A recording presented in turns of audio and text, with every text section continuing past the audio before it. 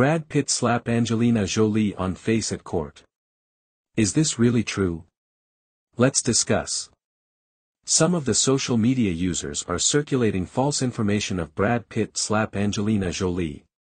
But after investigating all the things by our insiders, we get to know that this information is fake. Don't believe on such fake rumors so fast. Our channel work is to spread all the correct information to our audience.